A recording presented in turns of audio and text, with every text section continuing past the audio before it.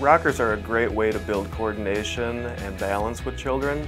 And what's unique about the Orb Rocker is it's a group experience. There are four seats on the ends which allow kids to get into the action that way.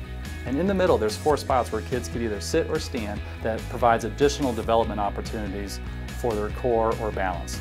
Kids of different levels can interact with the Orb Rocker, which creates social situations where everyone can play and have fun.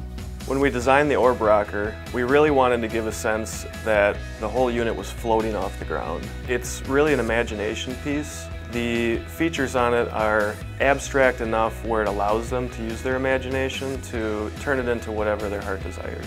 One of the most obvious development benefits is motor skills. The Orb Rocker does a great job in helping develop upper and lower body strength and stabilizing and strengthening core muscles.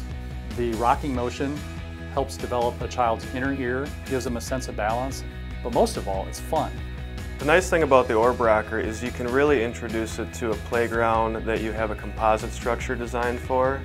So where the composite structure might provide great climbing, sliding, the Orb Rocker being freestanding is a way to add some motion to the play experience. Generally, we want to have parents, you know, come into the play environment and interact with children so they're able to get right up on the rocker and move side to side, control what the children are experiencing, but at the same time, you know, they can have some fun too.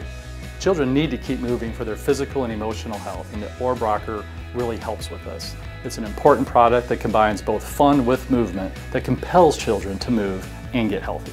Burke's all-new Orb Rocker, this is play that moves me.